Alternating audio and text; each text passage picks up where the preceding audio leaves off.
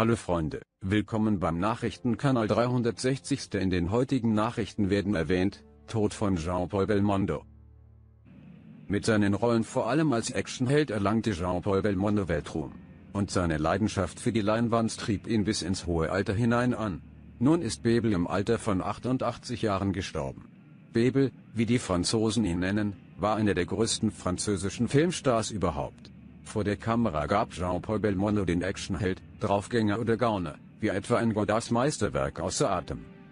Er überzeugte auch in ernsthafteren Rollen, wie in der eines französischen Widerstandskämpfers in des As der Asse. Heute ist die Schauspiellegende mit 88 Jahren gestorben. Ein immenses Lebenswerk im Februar 2018 erst stand er wieder auf der großen Bühne. Die Akademie des Lumière in Paris verlieh ihm den Preis für seine außerordentliche Karriere. Belmondo war sichtlich gerührt. C'est ami fait très plaisir. Merci beaucoup. Das macht mich sehr glücklich. Vielen Dank. Punkt Sein Lebenswerk, für das er bereits 2011 in Cannes mit der Goldenen Palme ausgezeichnet wurde, ist immens. In Frankreich war er das Gesicht der Filmbewegung Nouvelle Vague. Als Actionheld in Filmen wie Der Profi oder Der Greifer wurde er weltweit bekannt.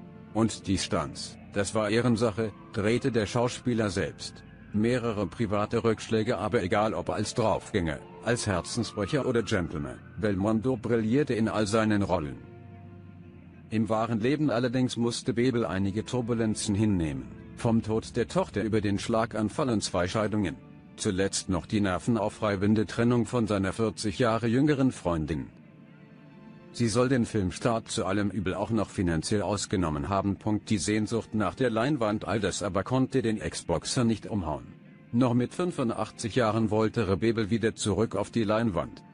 Spielen, für ihn eine Lebensaufgabe. Ein Schauspieler ist niemand, der bleibt. Er ist ja kein Maler oder ein Schriftsteller. Für den Schauspieler zählt der Moment. Von diesen Momenten hatte Belmondo unzählige in seiner mehr als 50-jährigen Schauspielkarriere.